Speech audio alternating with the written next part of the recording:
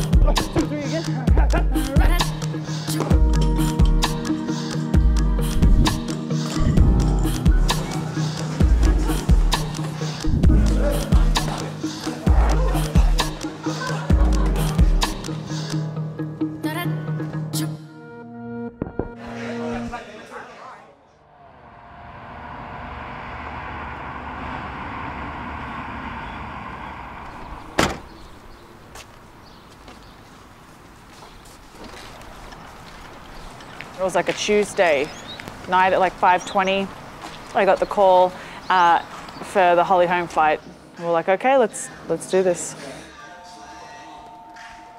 I'm actually really excited about this fight. I have a lot of respect for Holly. Um, she's a phenomenal athlete. She's been fighting at the top of the sport for a really long time, and uh, this is a it's a you know it's a good name to have a win over. So it's of course like you're definitely going to motivate you.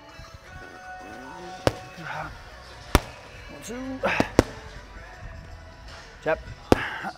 Bop, bop. The fight obviously is is huge for a couple different reasons. I, I think just her personally, this is her her first shot in the in the UFC. I think for her to to have this position put in front of her, I think is uh, is best case scenario. Bop, bop.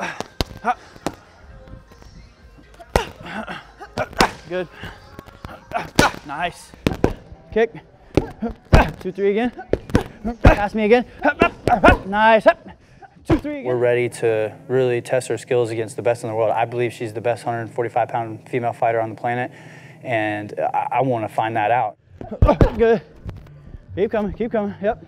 For me, it's not about winning over Holly per se. It's more of like uh, showing everyone that I am a world class athlete and I'm one of the best in the world at what I do. Nice. Good shit. Okay, you look fucking good. Sharp, hitting hard as shit. You look good.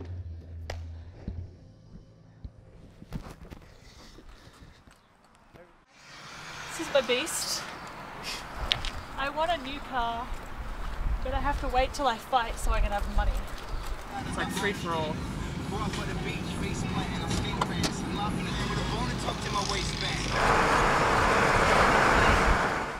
Right now, uh, because she's training so hard, and because she's usually staggered stance, one side of her back is usually a lot tighter. So right now we're using a, technique called cupping, um, old Chinese technique, but it's awesome for athletes. It's a great way to break up muscles that are overworked, gets more blood flow in them. The one thing that I find with Megan is she's a go-getter. She's 100 miles per hour all the time, and so I am having to get on her to come in here and let me take care of her because she has that champion mindset of go, go, go, go, go. And so I have to get her to slow down, slow down, slow down every once in a while. We got to keep her ready to go so she can get that belt.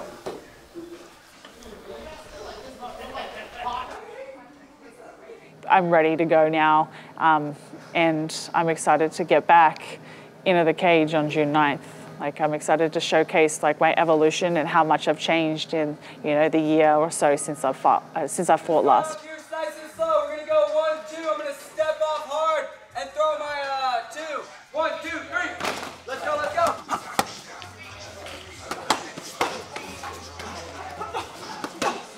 The one thing about Megan that, that uh, I admire is that she had a long layoff, but in that long layoff, she didn't uh, take any time off. She was in the gym the whole time. She was focused on her diet, focused on her weights, and uh, I really think that's going to show through in her fight.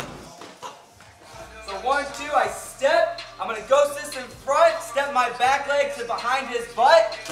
I've been an underdog in every one of my fights, and this is just another opportunity to, you know, I got nothing to lose. So, you know, just go out there and have fun and, and show everyone what we're capable of. It's just the type of fighter I am. Like, I kind of fight with a bit of a chip on my shoulder. And um, so I'm definitely going to bring the fight to Holly.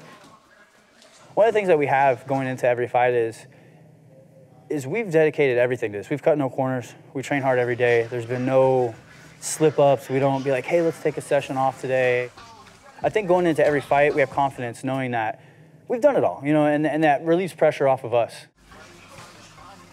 It's just under three weeks left. I have, I've known since 10 weeks, so I guess I'm seven weeks deep into my camp. Three weeks left. I'm getting that point where I'm sick of training. I just want it to be fight time. You know, she's she's 5 0 with five broken orbital bones since joining our gym, and uh, I don't see that stopping anytime soon.